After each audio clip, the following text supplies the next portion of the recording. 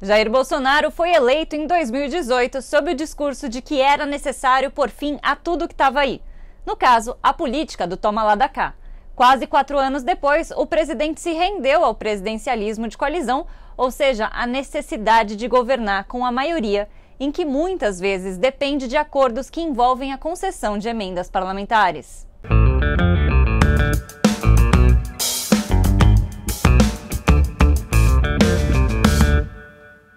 As emendas parlamentares são mecanismos legais para a distribuição de parcelas do orçamento para que deputados e senadores financiem obras e outras melhorias nos estados e regiões que os elegeram.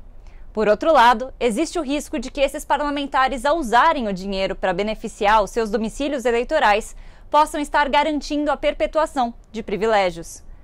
Fato é que as emendas parlamentares se tornaram a maior moeda de troca entre o legislativo e o executivo e foram usadas por diversos momentos como forma de cooptar apoio. Se no governo do PT houve o um mensalão, o caso de Bolsonaro envolve algo muito maior e mais controverso: as chamadas de emendas de relator, conhecido também como orçamento secreto.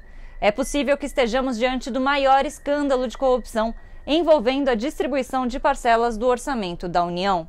Criada durante o governo Bolsonaro, as emendas de relator são uma das diversas categorias de emendas parlamentares. A principal diferença é que nesse tipo de emenda não se sabe para quem o dinheiro está sendo liberado. Apesar de Bolsonaro alegar que a ideia do orçamento secreto veio do Congresso, a verdade não é bem essa. Em 2019, quando essa modalidade de emenda foi criada, o ex-capitão vetou a medida.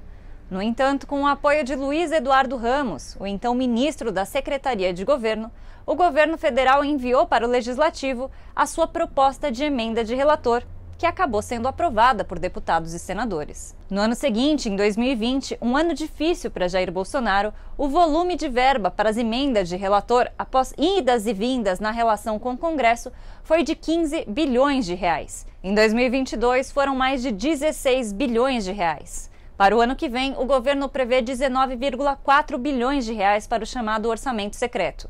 Boa parte desse dinheiro saiu da Seguridade Social, que garante o direito à saúde, à previdência e à assistência social. No último debate presidencial da Band, o ex-capitão admitiu que a liberação de verbas do orçamento foi feita para os que apoiam os seus projetos no Congresso. Ele afirmou que jamais daria dinheiro para os parlamentares que não estivessem votando com ele. Será que Bolsonaro sabe, então, quem foram os deputados que tiveram as suas emendas de relator liberadas?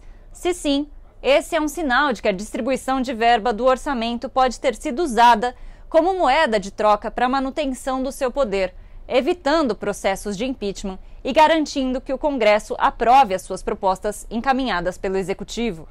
Um levantamento da revista Piauí apontou que integrantes de partidos que apoiam o governo federal receberam 6,2 bilhões de reais em emendas de relator.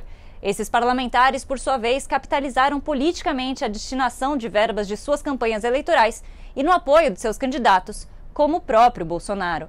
A Transparência Internacional Brasil, organização que atua para defender o combate à corrupção, considera que o orçamento secreto é o maior processo de institucionalização da corrupção que se tem registro no Brasil quando se concentra a distribuição da maior parcela das verbas públicas anuais, a decisão discricionária do relator do orçamento, o que acontece é uma quebra na distribuição igualitária de valores aos congressistas, havendo favorecimento dos aliados e perpetuação da ideia de curral eleitoral. É a velha máxima: para os amigos, tudo, para os inimigos, nesse caso, nada.